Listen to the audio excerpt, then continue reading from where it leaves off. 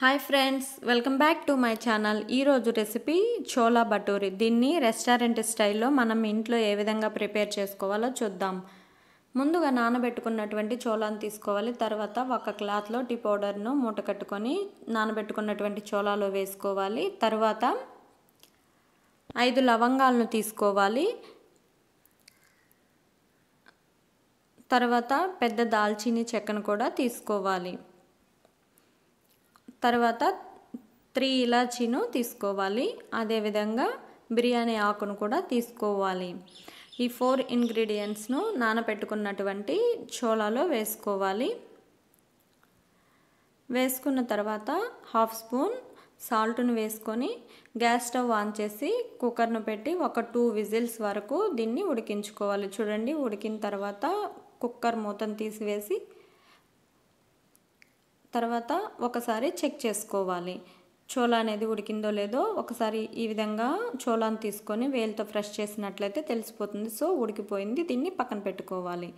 ఒక ప్లేట్లో half spoon పసుపును వేసుకోవాలి. అదేవిధంగా వన్ స్పూన్ కారం అదేవిధంగా వన్ స్పూన్ ధనియాల పొడిని వేసుకోవాలి. వన్ బై ఫోర్ స్పూన్ మిరియాల పొడిని వేసుకోవాలి. వన్ స్పూన్ వరకు చోలా మసాలాను వేసుకోవాలి. చోలా మసాలా వేసుకున్న తర్వాత హాఫ్ స్పూన్ గరం మసాలాను వేసుకోవాలి. గరం మసాలాను వేసుకున్న తర్వాత దానిలో రుచికి సరిపడినంత సాల్ట్ని వేసుకోవాలి.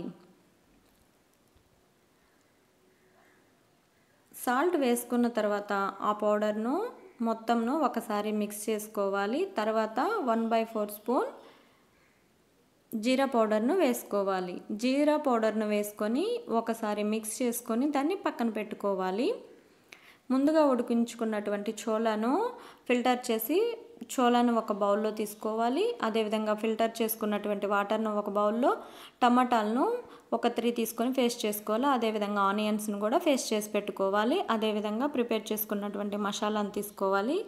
గ్యాస్ స్టవ్ ఆన్ చేసి కడాయి పెట్టి కడాయిలో ఆయిల్ వేసి ఆయిల్ హీట్ అయ్యాక మిక్సీ పట్టుకున్నటువంటి ఆనియన్ పేస్ట్ని వేసి దాన్ని ఫ్రై చేసుకోవాలి.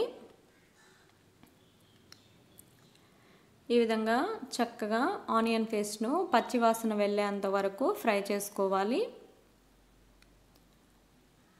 ఫ్రై చేసుకున్న తర్వాత మిక్సీ పట్టుకున్నటువంటి టమాటా పేస్ట్ని కూడా వేసి దానిలో వాటర్ కొంచెం వెళ్ళిపోయేంత వరకు థిక్గా వచ్చేంత వరకు ఈ రెండింటిని చక్కగా కలుపుకుంటూ మీడియం ఫ్లేమ్లో పెట్టి ఫ్రై చేసుకోవాలి. చూడండి ఈ విధంగా మనకి ఫ్రై అయిపోయింది. తర్వాత ఆయిల్ అనేది పైకి తేలుతుంది. తర్వాత ముందుగా ప్రిపేర్ చేసుకున్నటువంటి పౌడర్స్ అన్నీ వేసుకొని మొత్తం ఒకసారి చక్కగా మిక్స్ చేసుకోవాలి. మిక్స్ చేసుకొని ఒక టూ మినిట్స్ వరకు దీన్ని ఇదే విధంగా కలుపుకుంటూ మీడియం ఫ్లేమ్లో పెట్టి కుక్ చేసుకోవాలి.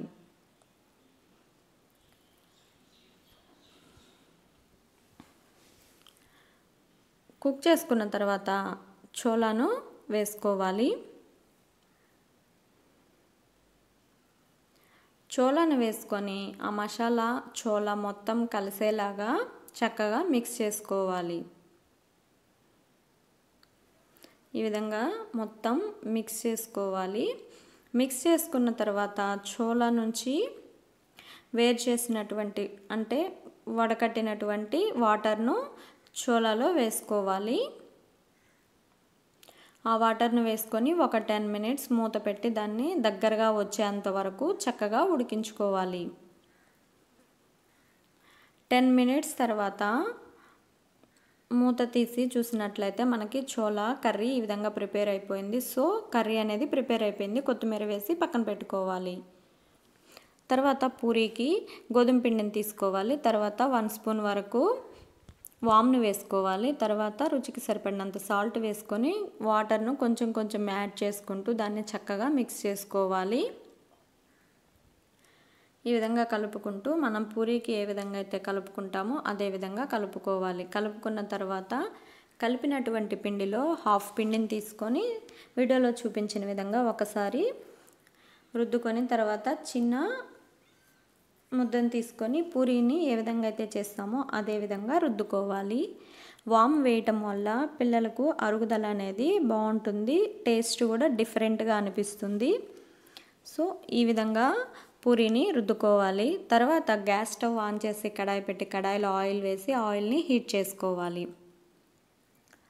ఆయిల్ హీట్ అయ్యాక ముందుగా ప్రిపేర్ చేసుకున్నటువంటి పూరీని వేసి చిల్లుగరెటతో ఈ విధంగా తట్టినట్లయితే పూరి అనేది మనకి చక్కగా పొంగుతుంది. రెండు వైపులా అదే విధంగా కాల్చుకోవాలి. చూడండి హోటల్లో ఏ విధంగా అయితే మనకి పూరి ఉంటుందో అదే విధంగా మనకి పూరి రెడీ అయిపోయింది. మరొక పూరిని కూడా వేసుకొని అదే విధంగా కాల్చుకోవాలి. ఈ విధంగా చక్కగా పూరిని డీప్ ఫ్రై చేసుకోవాలి. అంతేనండి ఎంతో సింపుల్గా చోలా బటూరి మనకి రెడీ అయిపోయింది. తర్వాత ప్లేట్లోకి సర్వ్ చేసుకోవటమే. ఎంతో టేస్టీ టేస్టీ అయినటువంటి చోలా భటూరి మనకి రెడీ అయిపోయింది. దీన్ని హోటల్ స్టైల్లో మనకి ఏ విధంగా అయితే టేస్ట్ ఉందో సేమ్ అదే విధంగా కర్రీ మనకి టేస్ట్ అయితే సూపర్ అంటే సూపర్గా టేస్ట్గా ఉంది.